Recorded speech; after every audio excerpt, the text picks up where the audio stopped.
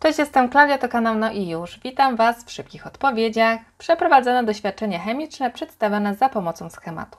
Wskaż numery próbówek, w których zaobserwowano zmianę barwy roztworu fenoloftaleiny i tutaj pod spodem mamy zgapę, mamy rodzaj wskaźnika i kiedy nam się on odbarwia. I widzimy, że fenoloftaleina odbarwia się dopiero w odczynie zasadowym. Ma kolor malinowy. To, żeby mieć odczyn zasadowy, potrzebujemy tlenku zasadowego.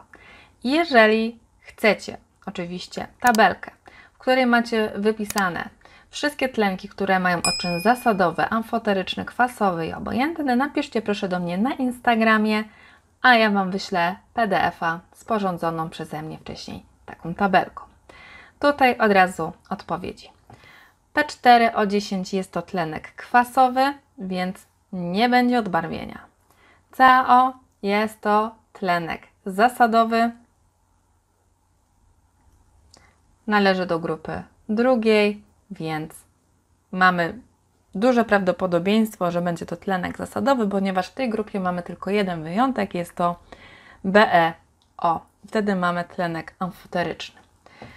SO2 tlenek kwasowy, Li2O tlenek zasadowy, BaO tlenek zasadowy i SiO2 jest to tlenek kwasowy, dla przypomnienia kwasowy, ale nie kwasotwórczy, ponieważ nie reaguje on z wodą i kwas krzemowy 4 otrzymujemy inną metodą. Dziękuję Wam serdecznie za uwagę i no i już. Thank you.